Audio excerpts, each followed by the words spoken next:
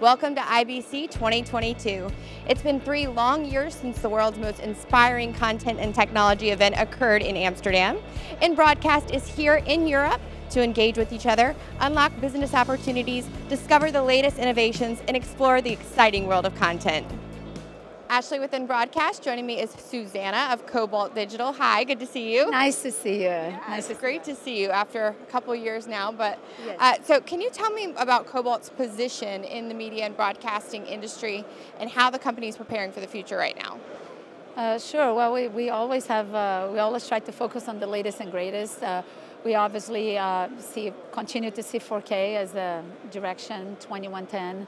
Uh, we, we've been um, very strong on the HDR, SDR to HDR uh, technology. We, we think this is really um, a, a very important uh, adoption for many broadcasters now, very popular. And we're big uh, proponents of RIST, the Reliable Internet Stream Transport Protocol. So it's very close and dear to Cobalt's heart. We're very involved. I'm the chair of the, the RIST Forum. Our CTO is the president of the forum. So we're very involved with, you know, a little bit of throughout all different technologies. So. And what trends are you noticing right now in terms of technology in the media and broadcasting industry? Well, with um, w- one that we're, we're noticing is on, uh, on the um, RIST side, there's a lot of adoption. We started, uh, the RIST concept was born really five years ago, and now there's 215 companies uh, actively involved. Uh, Cobalt is very, very involved. We, we have support in our compression gear, encoders, decoders, also our SafeLink. One thing we're highlighting at the show is the SafeLink Gateway.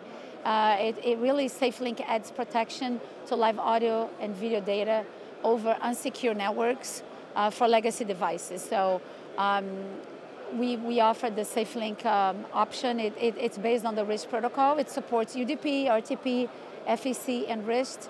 And um, the RIST protocol adds the main profile, uh, which adds uh, encryption and authentication um, to the link. So it's a very secure way of sending um, anything over the internet. So that's our SafeLink.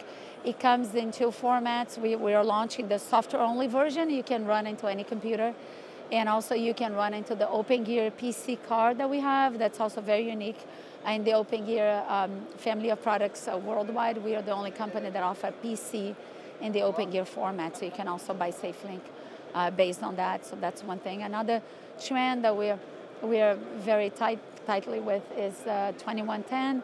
So we we launched um, Indigo is our 2110 umbrella of products, and now we have this data card, which is a highly integrated.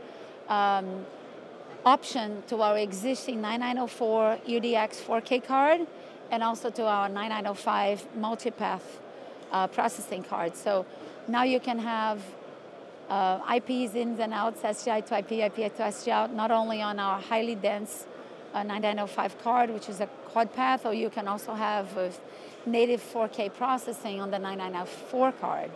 So that's one big thing that we're proposing here. And um, another big thing for the show is our super high density uh, Dante. You know, we, we announced the 3G SDI uh, bridge to Dante audio. So we have the 9904 card that it also is extremely powerful in, on the audio side, video, but also audio. It does 16 em- D-embed channels on each of the four inputs. It, it supports 64 MADI, uh, discrete AES channels, and now on top of all the capabilities of audio, we're adding this Dante license. So the Dante adds another 128 channels of Dante per card. So once you populate the TRQ OpenGear frame, you really have extreme density, and um, you're able to, you know, have mixing and routing of audio channels between inputs and outputs. It's this really highly capable platform. It's very unique um, in the industry, so we're pleased with that. Many things you're showcasing. That was actually going to be my question was what you were showcasing or any new developments. I think you probably just named most of them. Yes. But did I miss anything that's new currently here? No, we're always featuring the latest on HDR, SL HDR, of course. We do support all encoding and decoding, and uh, those are some of the, the highlights for the show. Very good. And so with what are the growth and changes that have happened right now with the company? We actually were very fortunate in the last couple of years with COVID. We experienced ex- extreme growth worldwide. We just recently added a, a sales director in Asia Pacific, uh, very well known, respected uh, person, Anthony Tan. We also just announced promotion of our executive vice president of engineering at the CTO, who's very well known in the industry. We also hired recently a sales director in EMEA for uh, Europe, Middle East, and Africa. So we're growing in all fronts. We have a number of new resellers, system integrators.